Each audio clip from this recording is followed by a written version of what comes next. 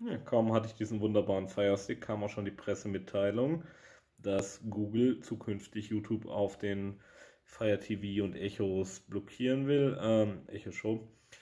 Ähm, die Meldungen sind noch ein bisschen widersprüchlich. Also, wiefern ich das sehe, geht es vor allen Dingen darum, dass YouTube äh, oder Google die YouTube-App von den Geräten entfernen will. Ähm, ich vermute mal, wenn der Silk-Browser in Deutschland kommt, was ja auch in den nächsten Wochen der Fall sein sollte, auf dem Fire TV Stick, wird es wahrscheinlich in dem Browser noch gehen. Also alles andere wäre schon ein bisschen krass von YouTube, äh, Schrägstrich Google.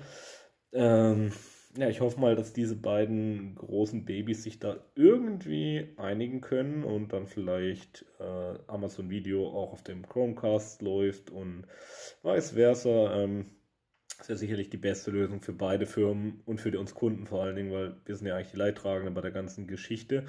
Äh, weil wenn die beiden Tölpes sich da streiten, sind, haben wir eigentlich das, das Nachsehen, weil ich denke mal, die meisten Leute gucken dann doch eher aufs Gerät als auf die Apps, aber ja, es ist halt ein relativ, ein relativ sinnloser und bescheuerter Streit zwischen beiden Firmen und ich denke, wenn die sich da irgendwie gütlich einigen könnten, wäre allen ganz gut geholfen, außer natürlich den Anbietern von ähnlichen Geräten, die alles unterstützen wie Roku, denen ist das wahrscheinlich ganz recht, was die Kerle hier treiben, weil die natürlich davon profitieren.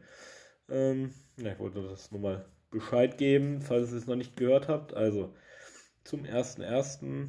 soll die YouTube-App auf den Fire TV Sticks und Echo Shows laut Google deaktiviert werden. Ähm, viel mehr ist im Moment noch nicht bekannt und das Ganze ist natürlich Teil von einem großen Clash zwischen YouTube und Amazon. Ähm, weil Amazon keine Chromecast verkauft und keine Amazon Video App für die Chromecast anbietet, geht YouTube jetzt einen ähnlichen Schritt vor. Ich glaube, Amazon bietet keine App und deswegen verkauft es die Chromecast nicht oder wie auch immer.